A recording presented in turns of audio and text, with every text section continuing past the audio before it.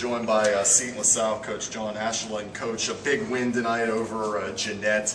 Uh, talk about just the play overall of your team here tonight.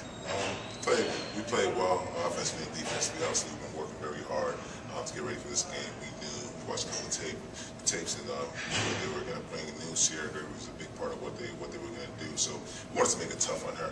Wanted to, we know you know, she's a volume shooter and also a volume scorer, so we wanted to make her look just very tough and, and you know just get the ball out of her hands so she can give it to her teammates who are not quite as good as converted. So that was a big game plan to just kind of get it to her, make her make her look very very tough and make it hard for her. And then obviously on the other hand, you know she's, taking so many shots, she's going to be tired on defense, kind of just go at her defensively and um, try to make her play defense and just tire her out throughout the game. I think we kind of accomplished that. I think on the second quarter she was kind of she was a little bit gassed in the second quarter. So you know I think we kind of accomplished what we wanted to do.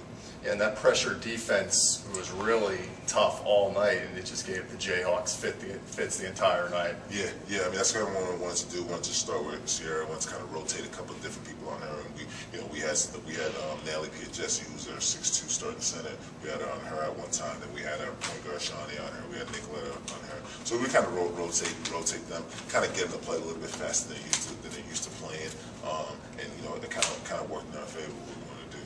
You had nine players scored, and you talked about Pia Jesse. She was on fire in that first quarter. She scored 14 of her 17 points, and that Yes. really set the, the pace for you. Yeah, it definitely guys. did. It definitely did, and that's kind of what the strength of our team. We got, you know, got a couple different weapons, and anybody can have a big night. Obviously, we're not going to have someone like Sierra averaging 30 on our team. No one averages even close to 20. Um, so we're it, we're a little hard to cover that. We're a little hard to guard, a little hard to prepare for know, we um, Natalie played really, really well. She got off to a great start. Um, this is actually her first game starting in a long time, um, but she's been working hard and she deserved a start today. You know, she, she started and she she got us off to a really good start. So, you know, it was, it was really, really good. One last thing, Coach, you we're going to be playing Bishop Canevin on Friday for.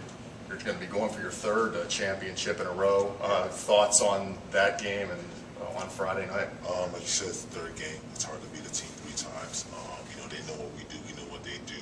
Um, we're, we're big time rivals, and um, you know, we're gonna just get as prepared for them as, as well as possible. Um, we beat them the first time at their place by 31. We just shot the ball really well.